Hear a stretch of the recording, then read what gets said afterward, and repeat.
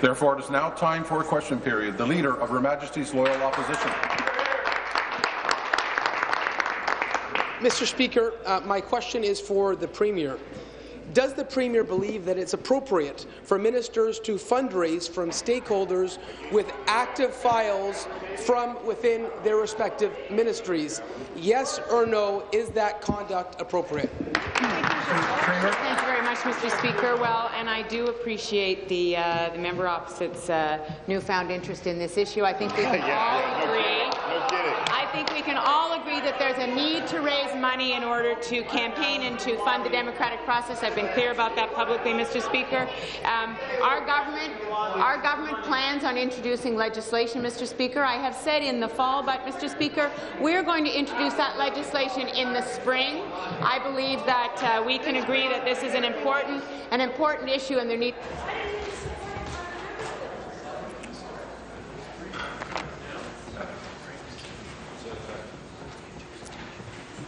Thank you. Finish, please. In fact, Mr. Speaker, I had announced last June that uh, we were committed to making further changes. We will introduce legislation in this spring, Mr. Speaker, um, and I have responded to the letters of the opposition leaders. I have, uh, have asked them to, uh, to come and meet with me, Mr. Speaker, to join with me, to talk about, uh, to give some input into that legislation, Mr. Speaker, and I look forward to that. Thank you. The member from Prince Edward Hastings will come to order. Supplementary. Mr. Speaker, back to the Premier. Uh, Mr. Speaker, I'm not asking about future conversations the Premier may have around election finance reform and whether she's actually interested or not, whether it's sincere or not. What I'm asking about is the conduct of her ministers. My question is, as leader of the Ontario Liberal Party, did the Premier allow these fundraising targets, and does she still believe they're appropriate? Is it appropriate for members of your cabinet, members of the Premier's cabinet, to have fundraising targets? The member. Thank you. Stop the clock. The uh, Minister of Tourism, Culture and Sport come to order. Please. Speaker, there have uh, there's been a set of rules in place that every party in this legislature has followed, Mr. Speaker. We have followed. Uh, we have. Fo Member from Renfrew, Nipissing, Pembroke come to order, and I've now decided I'm going to go after those individuals who have decided they're just going to chirp because they feel like it. Thank you. Carry on. As I've said, Mr. Speaker, uh, I've invited both, uh, both party leaders to join me for a meeting within the next few days to discuss uh, important issues and to give input into, uh, into legislation that we'll bring forward this spring. I want to give leaders time to consult with uh, their respective parties so that their feedback and input can be reflected in the legislation that we introduce, Mr. Speaker, and then that legislation will be debated. The member from Prince Edward Hastings, second time. And I'll move to warnings now. Carry on. That legislation will be debated publicly. It will go through the committee process, Mr. Speaker, and there will be opportunities for the opposition and uh, the public to participate. And I would ask Answer. the member opposite to share their ideas with, the with Ontarians and with the legislature, Mr. Speaker. We're committed to, uh, especially the intention to transition to a ban Thank on you. corporate union donations. Thank you. Final supplementary. Mr. Speaker, back to the Premier. Mr. Speaker, does the Premier acknowledge that setting fundraising targets for cabinet ministers forces them to fundraise from stakeholders with active files within their respective ministries? It is impossible to avoid that ethical contradiction. Mr. Speaker, will the Premier do something about this? Mr. Speaker, again, I go back to my initial comment, which is I think everyone in this uh, legislature agrees that there is a need to raise money in order to run campa campaigns. I don't think anyone, anyone would uh, believe that only wealthy, only the wealthy should be able to run for office, Mr. Speaker. There has to be a contribution and participation by other people and other organizations in, uh, in fundraising. There has been a set of rules in place, Mr. Speaker. We have determined, and some time ago, that there needed to be changes. We have started to make changes. The Minister of the Environment and Climate Change is warned. The member from Renfrew, Nipissing, Pembroke is warned. Carry on. In, in fact, Mr. Speaker, we've already undertaken initiatives to make elections more accountable and, and transparent. In 2007, we introduced third-party advertising rules for the first time, Mr. Speaker, and introduced real-time disclosure for political donations, which, as the member will know, other provinces are just catching Answer. up with. We know there need to be further changes. I look forward to the input from the opposition, Mr. Speaker. Thank you. Your question? The Leader of the Opposition. Mr. Speaker, my question is for the Premier. Mr. Speaker, has a stakeholder with active files before any ministry been asked or made to feel obligated by the Premier, a minister, a member of her staff, or a member of the Ontario Liberal Party to raise funds for the Ontario Liberal Party in order to obtain a meeting an approval or a policy change, yes or no? Member from Newmarket Aurora is, is warned. Carry on. Mr. Speaker, the, uh, the exchanges that I have with Ontarians all across the province, whether in a fundraising context or not, Mr. Speaker, are about gleaning the best ideas that we can so that we can write policy in government that reflects the needs of the people of Ontario, Mr. Speaker. That is the intention and that is the sole purpose for my exchanges, the exchanges of my members member from Stormont, Glen, Glengarry, uh, Stormont, Dundas, Glengarry is warned. Finish, please. You know, if you look at some of the major... Oh, sorry. If you do not understand my resolve, it's very clear. Stop heckling. Carry on. Thank you very much, Mr. Speaker. Uh, as I said publicly uh, this past week, you know, if you look at uh, many of the major initiatives that we have uh, undertaken in this House, Mr. Speaker, whether it's increasing minimum wage, the poverty reduction strategy, the uh, investments in the investments in uh, personal support workers and in early childhood educators, developmental Answer. support workers, Mr. Speaker, those are those are initiatives that have taken place because of feedback that we've heard from people around the province. It absolutely Thank you. Nothing to do with anything. Thank you. Supplementary. Mr. Speaker, back to the Premier. That was a lot of spin and talk for a yes and no question. So I will be more specific. On December 7th, the Ministers of Finance and Energy took part in a fundraising dinner hosted by the people that ran the sale of Hydro One. Much of the Hydro One syndicate was in attendance, a syndicate that made over $29 million from the sale of Hydro One. Further to that, the dinner raised a reported $165,000 for the Liberal Party. That seems to me like a thank you dinner. Mr. Speaker, did the ministers pressure the companies to host Minister of Economic Development, uh, Employment and Infrastructure is warned. Carry on. Mr. Speaker, the other side appears sensitive in, in the face of facts. Did the ministers pressure the companies to host and attend this dinner in exchange for being given the right to sell Hydro One? A bad deal, by the way, for the people of Ontario. You seated, please. You seated, please. Thank you. Premier. Thank you very much, Mr. Speaker. Well, um, as I uh, as I have said many times, the uh, the sole purpose of interacting with people in the province, and my my experience of fundraising, Mr. Speaker, is that many of the people who give money to one party actually give money to all the parties, Mr. Speaker, because those conversations. I assume. I assume, Mr. Speaker, that those those conversations that we have about policy are the same conversations that uh, that the opposition parties would want to have, Mr. Speaker, so that they can be informed by uh, by the expertise of people who are in the field. I assume that that is uh, the reality, Mr. Speaker, on the other side of the House. That is certainly the reality on this side of the House. Thank you. Final supplementary. Mr. Speaker, back to the Premier. Since I can't get an answer on the thank you dinner from the Hydro One sale, let's talk about the overpayment for renewable energy. Energy that could have been produced at a much lower rate if they did not hand out 20-year contracts to their Liberal friends at an additional cost of $9.2 billion to the people of Ontario.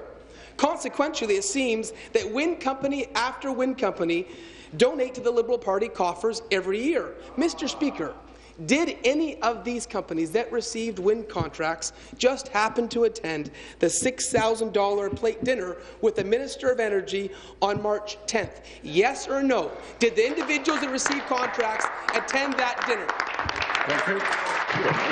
Mr. Speaker, the, the member opposite can get lists of who donates to our party, Mr. Speaker. In real time, Mr. Speaker, those lists are available. I look forward, you know, I look forward to the policy initiative on the, from the uh, other side of the House, Mr. Speaker, that suggests that what we should do is bring back coal in this province. That suggests that somehow, that somehow renewable energy and a clean, clean energy grid is not in the best interest of Order.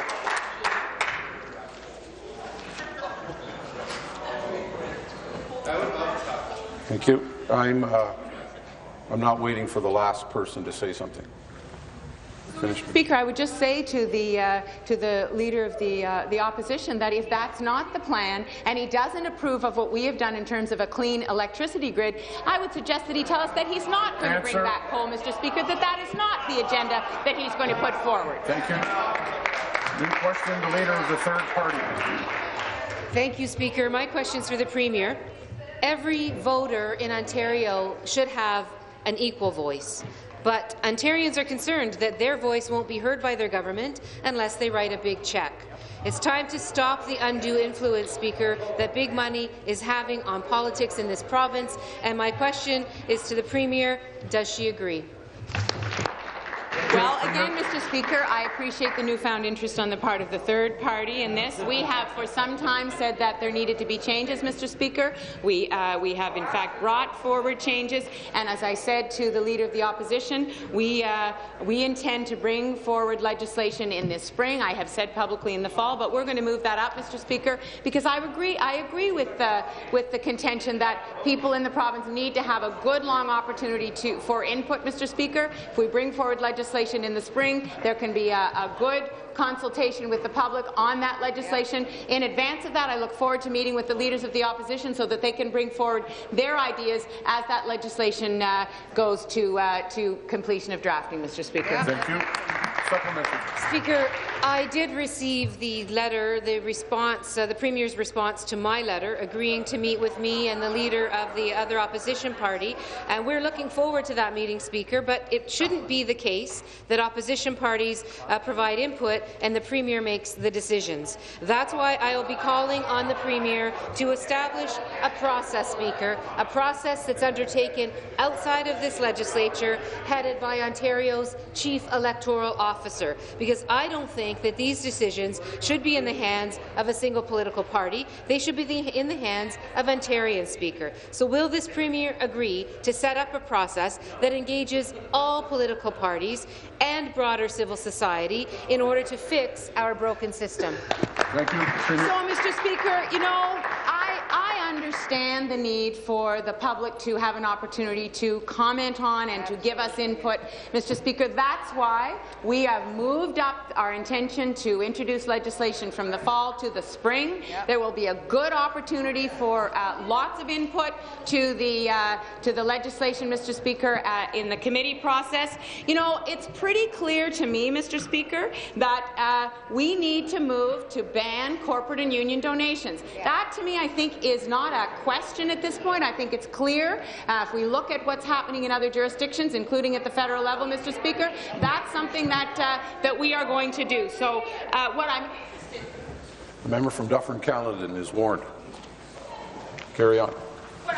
interested in is hearing from the uh, the opposition leaders or what on what they think the transition should be to that, Mr. Speaker. Answer. It took a number of years at the federal level to get to the point that they're at now. I'd like to know from the uh, opposition leaders where they Thank think you. how that transition should work in Ontario. Speaker, I don't believe that changing the way political parties fund campaigns should be up to any single political party. Will this Premier agree? Will this Premier agree that this process should be very broad, but should also include parties with significant support in the last election, whether or not they have representation in this legislature? Thank you. In part- Premier. Well, Mr. Speaker, if the uh, leader of the uh, third party is asking whether Mike Schreiner from the uh, from the Green Party should be allowed to take part in the process, absolutely. You know, if we have a public process with legislation that can be amended, that can uh, where we can get input on, Mr. Speaker, the public can take part in that process. That's how that's how legislation works, Mr. Speaker. So I, what I'm proposing is that the leaders of the opposition parties work with their folks, work with their uh, parties, bring forward to me in our meeting some proposals about what they'd like to see in the legislation. We draft the legislation, Mr. Speaker, and then that legislation becomes the, uh, the grist for the public discussion, Mr. Speaker, and we can have a broad public discussion about where we should go. But there are some givens. I think that it is quite clear that banning union and corporate donations Answer. is where we need to go, Mr. Speaker, and so I would look forward to their uh, advice on how we would make a transition to that, Mr. Speaker. The leader of the third party. Thank you very much, Speaker. My next question is also for the Premier. No, people in, um, in Ontario should feel confident that politics in this province is not under the undue influence of big money, bottom line. And as I've said, changing how all political parties fundraise shouldn't be up to just one political party speaker. And if we are going to give people the confidence in the system they deserve, then these decisions shouldn't be up to just politicians, Speaker. Does this Premier agree?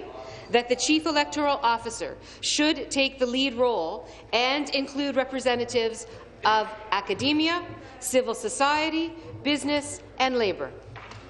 Well, Mr. Speaker, it makes me wonder what the leader of the third party thinks happens at committee uh, uh, consultations, Mr. Speaker. When I, when I sat on committees as a regular part of my job as an MPP for three years, I heard the most intelligent, the most thorough analysis of issues. When we talked about whether it was health care or whether it was electricity, we heard a very full range of delegations and input from people across the province. That's what I know happens at committee, Mr. Speaker. That's why I fully expect that as this legislation uh, goes out, Mr. Speaker, once we've had the input from the, uh, the opposition parties, I fully expect that there will be a very, very complete discussion around the province from academics, from community leaders, Mr. Speaker, from people who are part of unions, from people who are part of corporations, who want to Answer. have a role and want to have their say in, uh, in that political discussion. I look forward to that, Mr. Thank you. Speaker. I welcome it. Supplementary. We don't. Uh, I don't think we need to tell the Premier what happens at committee. The Liberal majority shuts down the opinions of the opposition pretty much all the time, Speaker. Uh, but look, but look, getting big money on a serious note, Speaker, getting big money out of Ontario's politics is a pretty obvious first step, but it can't be the only step, Speaker. This shouldn't be about how we make our democracy, rather this should be about how we make our entire democracy more fair, and not just about dealing with only the issues that are getting the highlight of attention right now. So, does the Premier agree that this needs to be a comprehensive and open process and not one that just benefits the Liberal Party? Well, Mr. Speaker, I think that this process can only benefit the democratic system and can only benefit the people of Ontario. That is the purpose of the democratic process in this province, Mr. Speaker. That is the purpose of government, which is not separate from the people of the, of the province, but is part of the way our society works. So, Mr. Speaker, the leader of the third party may want to denigrate big money, as she calls it. I don't know what she means by that. I don't know if she's talking about the money from teachers. Is she talking about the money from teachers' federations, Mr. Speaker, or is she only talking about money from the private sector? Because the reality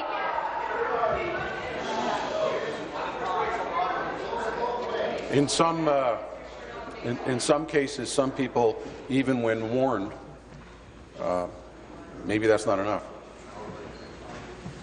Finish, please. The reality is, Mr. Speaker, we have all been operating a, under a single set of rules.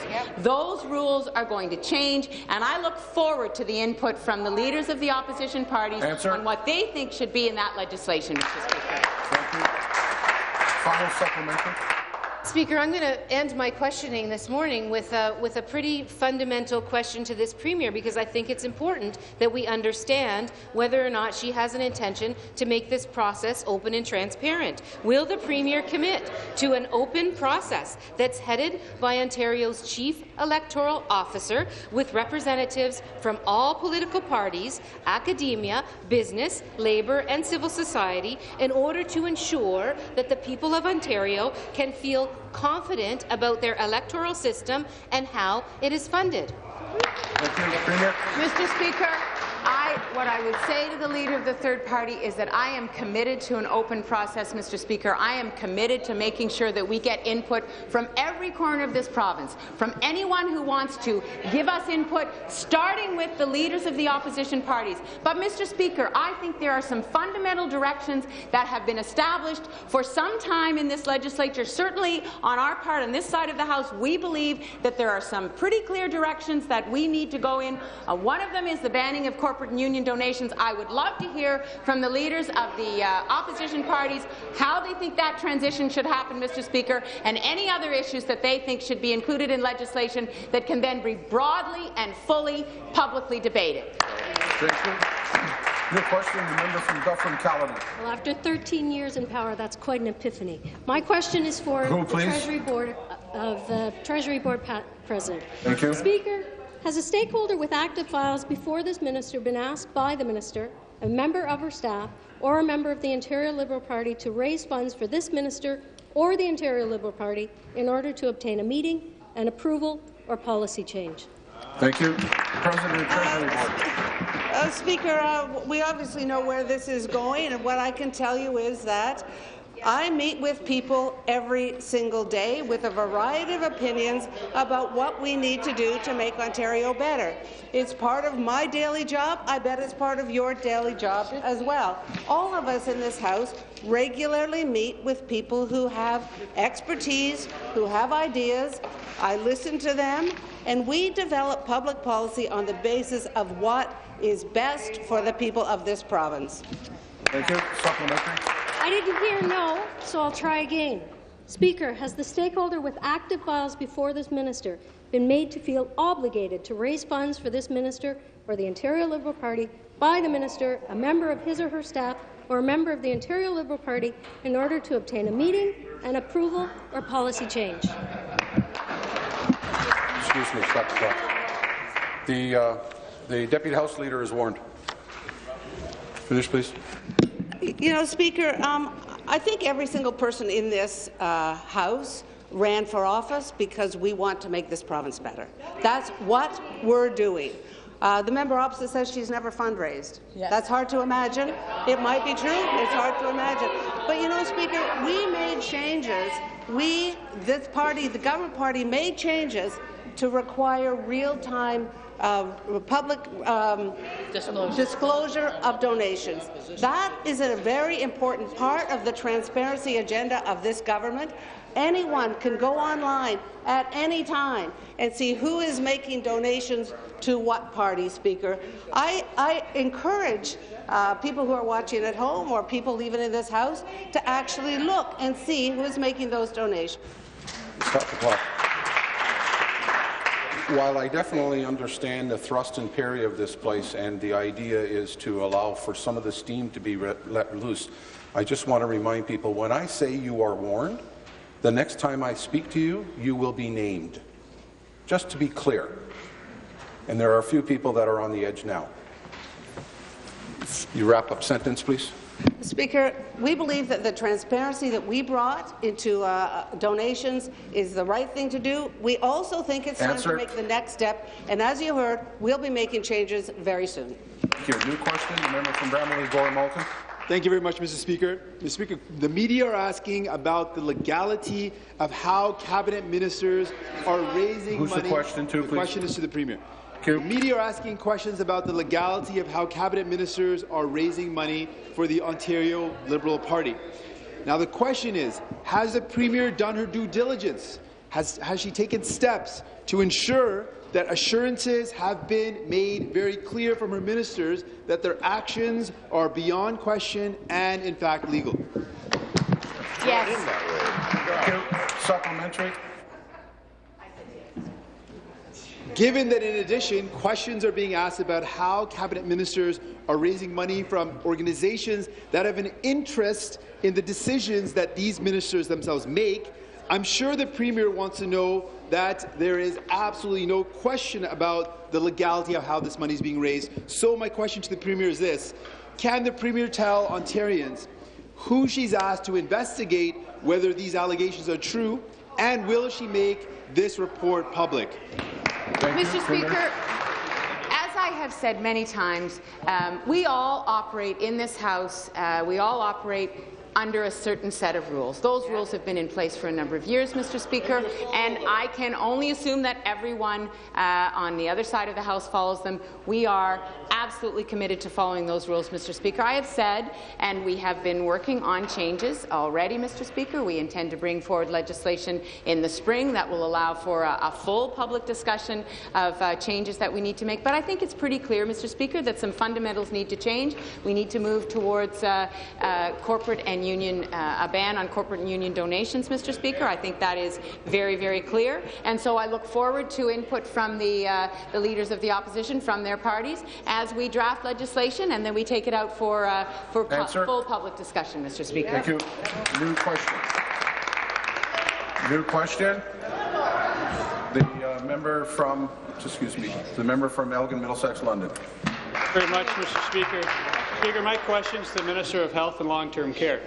Mr. Speaker, as a stakeholder with active files before this minister, has a stakeholder with active files before this minister been asked by the minister, a member of his or her staff, or a member of the Ontario Liberal Party to raise funds for this minister or the Ontario Liberal Party in order to obtain a meeting, an approval, or policy change? Thank you. Minister of Health, Mr. Long-Term Care. Thank you, Mr. Speaker. And uh, as my critic knows, uh, I take uh, my job as Minister of Health very, very seriously. And an important part of that job is to make sure that I interact with and discuss and get the best possible advice from literally hundreds of individuals around this province on a regular basis. Uh, we have one of the best healthcare systems because we have some of the best, the best healthcare providers and experts. And so an important part of my job is to interact. I interact with many, many people uh, over the course of a regular day uh, while we're sitting, Mr. Speaker, uh, and I've had opportunities uh, to do that on an ongoing basis. As all members of this legislature, I believe, uh, engage in fundraising activities. When I engage in fundraising activities, Mr. Speaker, I do that according to the rules that are in place. Answer. Thank you. Supplementary. Thank you, Mr. Speaker. Mr. Speaker, it's, it's easy to note that we didn't hear a straight no to that uh, question. But back to the minister, Speaker. Mr. Speaker, has a stakeholder with active files before this minister been made to feel obligated to raise funds for this minister of the Ontario Liberal Party by the minister, a member of his or her staff, or the member of the Ontario Liberal Party in order to obtain a meeting, an approval, or policy change? Well, yeah, I mean, the, the, member knows that's not how it works, Mr. Speaker. But what I'm very proud of, Mr. Speaker, is long before the Progressive Conservatives first raised this issue today, Mr. Speaker, yeah, yeah. long before the NDP first raised this issue today, our Premier has been engaging in a process which she's outlined where changes, fundamental changes to the way uh, donation. The member from Prince Edward Hastings is warned. Carry on. Long before it was raised for the first time today by these, or in the last days since uh, media attention has been drawn to this issue, long before that, this Premier has recognized that important changes can and should be made. Mr. Speaker, she has indicated that in the foreseeable future she will be introducing those changes. I look forward to seeing those. Answer. And I look forward to getting the good advice from the members opposite on how we can further strengthen yep. those rules. Your question, the member from Kitchener-Waterloo. Thank you very much, Mr. Speaker. My question to the Minister of Finance. Does the Minister of Finance see any issues with asking the companies that he hired and paid to sell off Hydro One to attend his fundraiser dinner and donate thousands of dollars to the Liberal Party of Ontario? Good question. Thank you. Minister of Finance. Mr. Speaker, um, again, and as the Premier has explained, it's interesting that the NDP, who received funds and do fundraisers like the like the Progressive Conservatives. We all abide by the rules in this House as we should to enable us to support our campaigns. And let me be clear, my priority is around policy, initiating the uh, concerns of Ontarians. That's why the document and the budget is one of the most progressive that we've had in history, talking about the things that matter to Ontarians. That's my priority. That's what drives me, and that's what I care about, Mr. Speaker. Thank you. Thank you. Supplementary. Thank you very much, Mr. Speaker. It's, it's been reported that the Minister of Finance has a quota, and he needs to raise half a million dollars for the Ontario Liberal Party. That's a lot of money. Has the minister ever discussed his quota with the Premier of the province of Ontario? Are those reports wrong? Minister. Actually, I haven't. I haven't discussed with the Premier. What I do discuss with the Premier are issues around policy, the preparation of the budget, the concerns that we share as a government to support the policies that are important to the people of Ontario. That is what we talk about, and that is what initiates. The member opposite, who also fundraises, also does the very same thing as the rest of us to support her campaigns. That is a reality that we have as, it, as the rules pertain to it. I look forward and we welcome any opportunities from the opposition to support the Premier in her initiative to reform the system. We welcome it. We're open to it. Thank you, Mr. Speaker. Thank you. New question. Member from Burlington. Thank you, Mr. Speaker. My question is for the Minister of Education. Ensuring students receive the best possible education across Ontario is our government's top priority. Ontario has a lot to be proud of in terms of student achievement, thanks in large part to our great educators and our staff. Our schools are recognized across the country and around the world for excellence in education, and this is something we are extremely proud of. Minister, this morning you announced the renewed math strategy to help students across the province become better learners. Speaker, through you to the minister, what is the Ontario government doing to raise student achievement in mathematics? Thank you. Minister of Education. Thank you, and uh, thank you to the member who I suspect uses her math skills every time she plans a cycling route across the province. Uh, but to, uh, to uh, talk about renewed math, supporting effective learning and teaching in mathematics has been identified as a top priority for Ontario schools.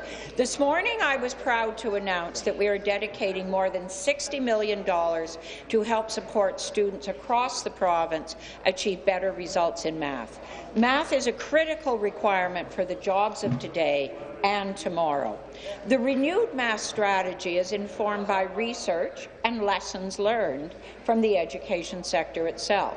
It focuses on the needs of students, their families, educators and schools, while encouraging Answer. a shared responsibility to support student learning. The strategy also supports our renewed vision for Ontario uh, education with uh, Thank you. in educa- math. Supplementary. Thank you, Minister. We are extremely proud of the investments made towards education. It is important that we will continue to focus on improving the achievement of all students in mathematics, because it not only helps to enhance their full potential, but it contributes to our economic strategy by ensuring a skilled workforce. In fact, that skilled workforce is just one of the reasons Ontario leads North America in terms of foreign direct investment. And so I'm pleased to hear that the students in my riding of Burlington will have better supports in place when it comes to mathematics. Minister, can you please tell this House what types of supports and opportunities you and our government will be providing as part of the renewed math strategy? Thank you, Mr. Thank you, Minister. Yes, and Speaker, starting next September, key elements of the renewed math strategy will be introduced, including a minimum of 60 minutes each day of protected learning time for effective mathematics instruction and assessment for students in grades 1 to 8 up to three math lead teachers in all elementary schools, coaching for principals of select secondary schools to lead improvement in math among their students, support for learning at home through parent resources that provide helpful tips and information on the math curriculum, better access to online math resources and math supports such as homework help or SOS Devoir, math support for grades 6 to 9 outside the school day, and finally opportunities Answer. for educators to deepen their knowledge in math learning, teaching and leading, including a dedicated math professional development day to further Thank the you. school improvement. Question, the member from Oxford. Mr. Speaker, my question is to the Minister of Municipal Affairs and Housing. Mr. Speaker, has any stakeholder with active files before this minister been asked by the minister, a member of his staff or a member of the Ontario Liberal Party to raise funds for this minister or the Ontario Liberal Party in order to obtain a meeting, an approval, or a policy change? Thank you. No. Thank you. Supplementary. Well, Mr. Mr. Speaker, uh, my question back to the minister, Mr. Speaker, has any stakeholder with active files before this minister been made to feel obligated to raise funds for this minister or the Ontario Liberal Party by the minister, a member of his staff, or a member of the Ontario Liberal Party in order to obtain a meeting, an approval, or a policy change? No. Thank you. New question. The member from Toronto Danforth. Thank you, Speaker. Speaker, my question to the Premier. The Minister of Energy told the Ottawa Citizen that he didn't have any ethical issues with using his ministerial portfolio to raise money. But he told the Globe and Mail that he wanted reform. Can the Premier tell us if the Energy Minister is okay with the current ministerial quota system or not? Premier. Mr. Speaker, I don't, you know, I don't know how the uh, the NDP operates. I don't know what their team ethic is, Mr. Speaker. I don't know how well they work together. But here's the thing: we know as a party that we have to fundraise in order to run our campaigns and do our work, Mr. Speaker. And we're a team, and everybody does their bit, Mr. Speaker. That's how it works on this side of the House. I have no idea how it works in the church basements of the NDP, Mr. Speaker. Supplementary.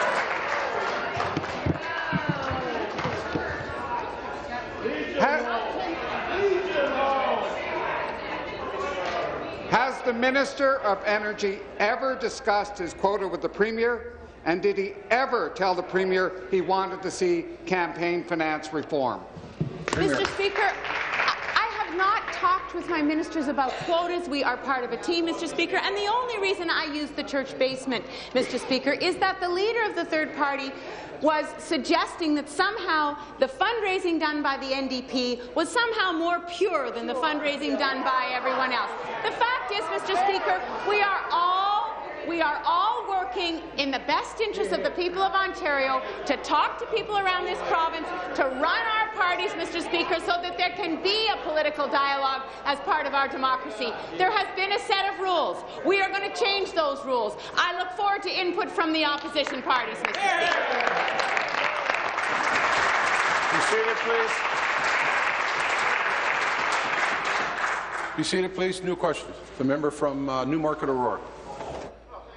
Speaker, uh, uh, my question is to the Minister of Transportation. Speaker, I was at the 20th annual Newmarket Home Show over the weekend and had a number of constituents ask me about changes to the electric vehicle incentives program. Perhaps it was the, uh, the launch of the new Tesla vehicle that sparked this interest, but actually I believe it's uh, my constituents' genuine concern for the environment. I understand the minister recently announced some changes to the electric vehicle incentive program. Mr. Speaker, can the minister tell members of this House more about these changes and what Ontarians can expect to see under the new program? Thank you. Minister of Transportation. Thanks very much, Speaker. I want to begin by thanking the member from Newmarket Aurora not only for his question, but for taking a very keen interest in issues relating to transportation and how we modernize some of these uh, important programs. As many members of this legislature will recall, Speaker, our government launched our first electric vehicle incentive program back in 2010, a program which has provided incentives for the purchase of nearly 5,000 electric vehicles in Ontario.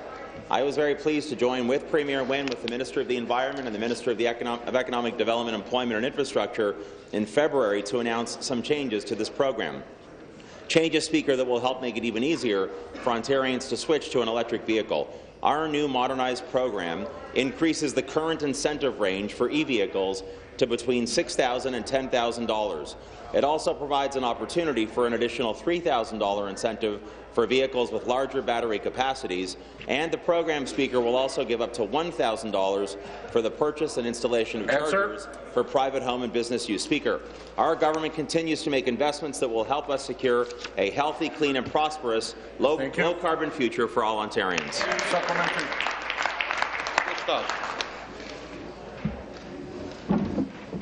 Thank you, uh, Speaker. I want to uh, uh, thank the minister for his response. I know that those living in Newmarket Aurora uh, are glad to hear about these changes. In fact, uh, this initiative actually builds on our government's December 2015 announcement that an additional $20 million from Ontario's Green Investment Fund will go toward creating a network of fast-charging public EV sta uh, charging stations. But, Mr. Speaker, this is only one of the progressive investments we're making in the vehicles we drive. I understand in January we also launched a new automated, automated vehicles pilot. Can, uh, Mr. Speaker, can the minister please tell, please tell members of this House more about this new pilot and how it will change the way Ontarians drive? Thank you. Thanks very, thanks very much, Speaker. I thank the member again for his follow-up question. He is quite right, Speaker. On January 1st, our government launched a new pilot to allow the testing of automated vehicles on Ontario's roads and highways. Speaker, the Institute of Electrical and Electronics Engineers has forecasted that by 2040, autonomous vehicles could account for 75 percent of all vehicles on North American roads. Speaker, that is a potential massive shift with respect to how we live and drive. And that's why I'm so proud to see Ontario leading the charge on this new and innovative technology. Ontario is the very first province in Canada to permit the testing of automated vehicles and related technology on road. This means that we are the first to enable nearly 100 companies and institutions involved in the sector to conduct research and development in Ontario rather than competing jurisdictions. Speaker, this is another example of our government's commitment to making those investments that will ensure that Ontario remains a global leader in this Thank sector. You. Thank you very much. Question, the member from Nipissing. Thank you and good morning, Speaker. My question is for the Minister of Finance. Speaker, has a stakeholder with active files before this minister been asked by the minister, a member of his staff, or a member of the Ontario Liberal Party to raise funds for this minister or the Ontario Liberal Party in order to obtain a meeting, an approval, or a policy change? Thank you. Finance.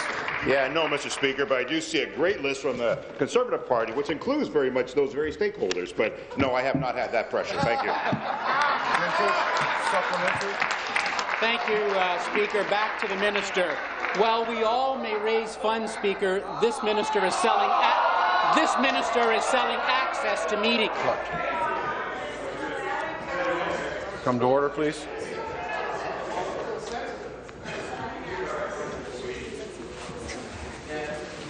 Thank you. Uh, Speaker, uh, while we may all fundraise, it's this minister who gives out contracts and it sells access to the government, Speaker. So my question, has the state... Excuse me. Stop the clock, please. Um, I'm going to have to uh, ask the uh, member to withdraw uh, because of what he said. So withdraw. I withdraw, Speaker. You may finish the question. Has a stakeholder with active files before this minister been made to feel obligated to raise funds for this minister or the Ontario Liberal Party by the minister, a member of his staff, or a member of the Ontario Liberal Party in order to obtain a meeting, an approval, or a policy change? Thank you. Yes, sir. Mr. Speaker, I've already said that that's not the case, but maybe be clear. What we are concerned about is this document the work we do to put policies in place to provide for increases to minimum wage, free tuition for those students that are most vulnerable, to ensure that we support those with autism, increase funding for hospitals and education, support infrastructure projects, and ensure that we have a fair society by breaking the cycle of poverty. All those things, Mr. Speaker, they have voted against. They have voted against the very principles that are important to the people of Ontario. That's our priority, nothing else. You seated, please. You seated, please. Thank you. New question, the member from Timiskaming Cochrane. Thank you, Speaker. My question is to the Premier. The Premier has acknowledged that former Cabinet Minister John Gerretsen complained to her about his fundraising quotas. Will the Premier tell Ontarians what she said to John Gerretsen when he complained about the ethics of Cabinet Ministers being given fundraising quotas? Well, Mr. Speaker, what I have said, uh, what I've said publicly, and the uh, the member opposite can uh, look at my comments from last week. What I've said is that uh, many of the comments that uh, that John Gerretsen made become part of the discussion that we're having right now, Mr. Speaker, and they have fed into my conviction that we do need to make changes. That moving to uh, ban corporate and union donations is is the direction we need to go, Mr. Speaker. And as I've said, I look forward to input from the opposition parties, and then I look forward to a full public debate, Mr. Speaker, as legislation goes to committee. Thank you. Thank you, Speaker. The Premier has acknowledged that John Gerretsen complained about using his ministerial portfolio to raise money for the Ontario Liberal Party. Other ministers are calling for changes. How many other ministers have complained to the Premier about having to use the ministerial portfolios to raise money for the Liberal Party? Mr. Speaker, well, that, as has been said, that is not how it works. We are a team. We raise money, Mr. Speaker. We raise money to do the work of the party, as I expect the NDP and the Conservatives both do, Mr. Speaker. And we all operate within a set of rules, and those rules, Mr. Speaker, are going to change. I look forward to input from the, uh, the opposition parties, and I look forward to a full public discussion, Mr. Speaker, as legislation uh, goes out for consultation. Thank you. New question, the member from Kitchener Centre. Thank you, Mr. Speaker. My question is for the Minister of Economic Development, Employment and Infrastructure. Wow. Minister, last January you officially launched four new streams for the Jobs and Prosperity Fund, a 10-year, $2.7 billion support fund, which includes the new economy stream, the Food and Beverage Growth Fund, the Forestry Growth Fund, and the Strategic Partnership Stream. And as you've said before, we are focusing our investments in order to help smaller businesses scale up, to continue to strengthen our commitment to innovation, create high-value jobs, and to target key industries that will act as our anchor investments in Ontario. But at the same time, there have been critics who suggested that we are picking winners and losers and they have expressed concerns about transparency of our investments. Mr. Speaker, could the minister Question. please inform this legislature if those concerns are legitimate? Thank you. Minister of Economic Development, Employment and Infrastructure. Well, thank you, Mr. Speaker. Let me begin by saying how proud we are of the investments we've made in our business support initiatives through the years. In fact, I want all Ontarians to be aware of each of those investments because they've proven to be hugely successful in creating jobs and attracting investment to our province. Most of our investments are already available online, and we welcome any public interest in those important initiatives. In all, We've invested $2.8 billion since 2004, leveraging $29 billion in private sector investment and creating and retaining 160,000 jobs. As for, as for picking winners and losers, Mr. Speaker, we are picking winners. We're, we're investing in growth firms, in innovation leaders, and we're driving to compete globally. That's what you need to do to compete, Mr. Speaker, Answer. in today's competitive global economy. We're, we're trying to help our fast runners run faster so we can bring, build an economy we can be proud to pass on to our kids and grandkids. Supplementary. Thank you, Mr. Speaker, and I'd like to thank the minister for his answer. It's very encouraging to learn that there are measures in place to ensure transparency and accountability for all our businesses and as we're providing strong supports.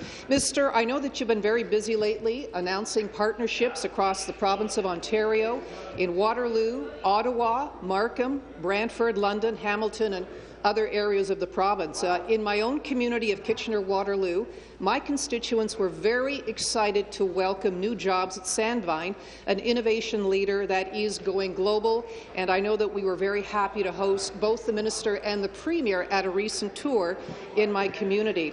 Mr. Speaker, could the minister please tell this House about that visit and other companies that we have been partnering Question. with lately? Thank you. Minister. I'd be delighted to, Mr. Speaker. I want to share a few of our recent investments with the legislature. We partnered with Mitsui High-Tech, an advanced manufacturing company producing parts for electric vehicles, creating 48 new highly skilled jobs in your riding, Mr. Speaker, of Brantford. Our $2 million investment leveraged $38 million in private sector investment. We've partnered with Baylis Medical to support a research and manufacturing expansion in Mississauga. We invested $4.2 million, leveraging $32.5 million in private sector investment, creating 84 jobs and retaining 194 more. We also partnered with Sandvine, as the member indicated, in KW, an ICT innovation success story here in Ontario. We invested $15 million, leveraging 169 million in private sector investment, creating 75 new jobs, retaining 267. These are good investments contributing to an all 160,000 jobs created Thank and you. retained here in the province of Ontario. New question, the member from Bruce Grey Owen Sound. Thank you very much, Mr. Speaker. If sincere, I wonder why the Premier and her government did not make the changes when the electoral officer, Greg Essensa, has raised this twice in this legislature during their report, and myself, I've raised a private member's bill last October, and my colleague Rick Nicholls raised it before me. So if they were truly sincere, if they truly felt this was unfair, Mr. Speaker, they'd have already had legislation changes in. They wouldn't be dragging it out so they could continue to fundraise over the next year, probably by the time they get it done, to their benefit, Mr. Speaker. So I ask the, the Premier, are you really sincere, and why is it not already in legislation like the rest of the province of Canada and the federal government? Thank you, Mr. Speaker. Thanks very much, Mr. Speaker. So I've said we're bringing the legislation in this spring, Mr. Speaker. We're going to uh, we're going to have a public discussion about the uh, about the legislation, Mr. Speaker. But as I have said, make no mistake, there will be a new set of rules. That doesn't mean that people will stop having to raise funds, Mr. Speaker. The reality is, in order for our democracy to function, parties need to be able to work with, communicate with, run campaigns, work with the public. That is that is part of our democratic process. So there will be new rules in place, Mr. Speaker. I look forward to the input from the opposition and from the third party. Thank you. Supplementary. Mr. Speaker, it's a matter of trust. This was brought to this legislature by an officer of this legislature that said you need to make changes two reports ago, Mr. Speaker. This is yet again, we've got caught, we've got the heat turned up by the media, and now the Premier and her cabinet are saying, oh, we need to do something, but we need time. If you were truly sincere, there are other provinces that we could borrow their legislation today, Mr. Speaker, if she was really sincere. We could already have this. We do need to get to a select committee so we actually have some say. We're very concerned that they would just take this like they have the Green Energy Act, for example, and ram it through under their provisions, Mr. Speaker. But we need to ask about the sincerity. We need to ask about how much Ontarians trust this Premier and her government to truly make changes. Mr. Speaker, we want to ensure that this government will actually do the right thing for a change and ensure that there is fairness in all of this Question. legislation. Mr. Speaker, I want to ask the Premier, have you held any fundraisers with, with sponsors in the room, with donors in the room that could truly influence legislation? Thank you. Premier. Very much, Mr. Speaker. Well, as the member knows full well, we uh, we announced last June that we're committed to addressing the uh, recommendations that have been made by the uh, the chief electoral officer, Mr. Speaker. Elect, uh, recommendations that were made on the 2014 uh, election. We are we are committed to that. We said we were, and we're moving forward, Mr. Speaker. But I have to say that uh, when I read in the press that the the opposition was looking for a select committee on top of bringing legislation forward and having a public discussion as a result of committee hearings, Mr. Speaker, the first thing that came to my mind is that they actually want to stall. They actually want a longer process, Mr. Speaker, and that's unacceptable. The status quo is not acceptable. We're bringing forward legislation this spring, and we're going to move forward and make those changes, Mr. Speaker. Thank you. New question, the member from Windsor-Tecumseh. Uh, Thank you, Speaker, and good morning to you. My question is to the Premier. Good morning, Premier. Speaker, can the Premier explain why she believes the Liberal government should be making the decisions about how all political parties fund campaigns, and why she believes this process should not be led by Ontario's Chief Electoral officer? Thank you, Premier. Well, Mr.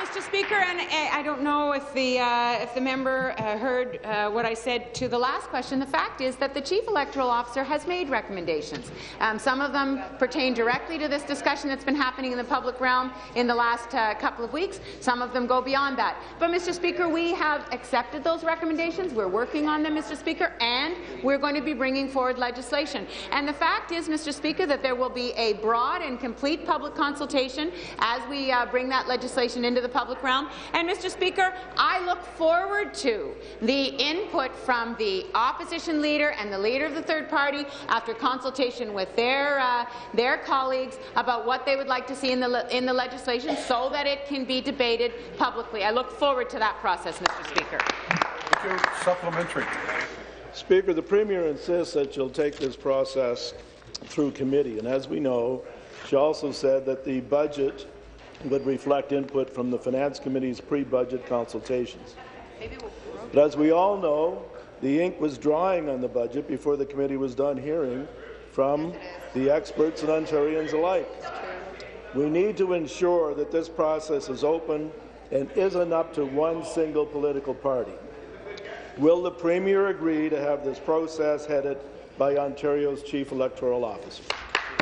I think I've been clear about what, uh, what the process should be going forward. I look forward to the input from the leaders of the opposition parties, Mr. Speaker. I trust that they will be uh, talking to their colleagues and that they will engage in a very uh, energetic and enthusiastic way in the public discussion that will follow as legislation goes forward, Mr. Speaker. That is, that is what is required of us. It is, it is what is necessary in order for us to uh, come to good policy decisions. And, Mr. Speaker, as I said, I think there are some very clear directions whether it's uh, from the Chief Electoral Officer or the public debate that has uh, ensued for the last couple of weeks around the banning of corporate and union donations. We need to get on that, Mr. Speaker, and that's why we're moving the legislation up. We're going to uh, bring that legislation forward in the spring rather than in the fall, Mr. Speaker. Thank you. New question, the member from Glengarry Prescott Russell. Thank you very much, Speaker. My question is to the Minister of Community and Social Services.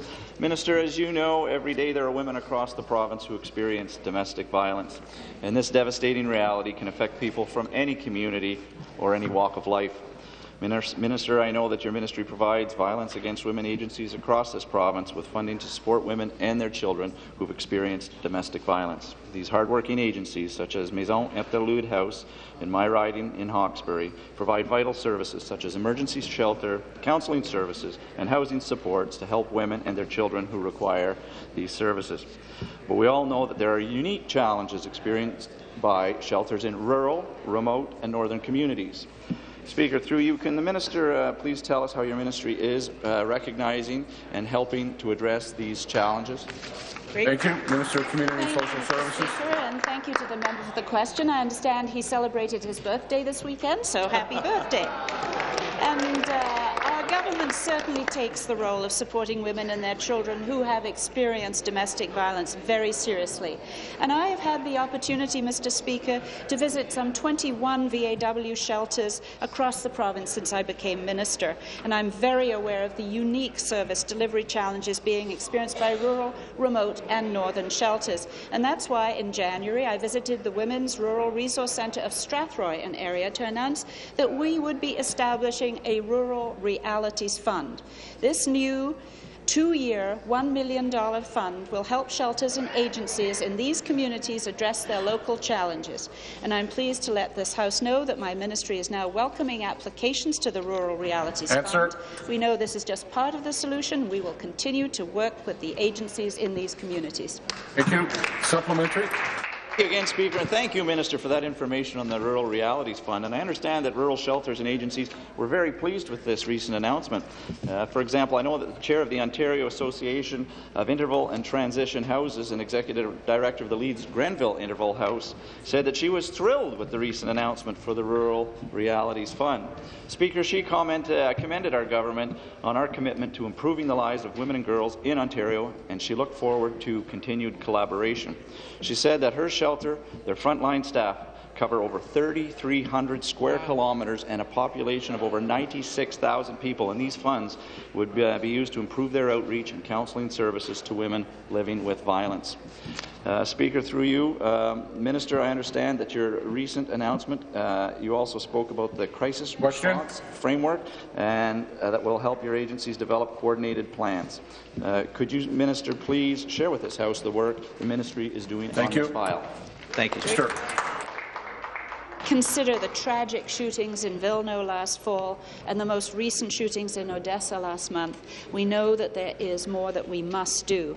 And that is why I also announced that we would begin working with agencies, my ministry's VAW expert group, and with other ministries to develop and implement a crisis response framework. We need to work together with the VAW sector and other community partners to help identify the steps we can take to prevent these tragedies from occurring. And we will work with VAW agencies to find ways to better support them when crises do occur. The creation of the Rural Realities Fund and Crisis Response Framework were recommendations to the province from the Premier's Roundtable on Violence Against Women. Both of these initiatives support the Ontario government's goals of ending Answer. violence against women and providing better supports for survivors. Thank you, Mr. Speaker. Thank you. New question. The member from Kitchener-Conestoga. Yes, uh, Speaker. My question is to the Minister of uh, Transportation. Mr. Speaker, has a stakeholder with an active uh, files before this minister been asked by the minister, a member of his or her staff, or a member of the Ontario Liberal Party to raise funds for this minister or the Ontario Liberal Party in order to obtain a meeting, an approval, or policy change? Minister of Transportation. Uh, thanks very much, Speaker. Of course, I thank the member opposite for his interest in this uh, topic.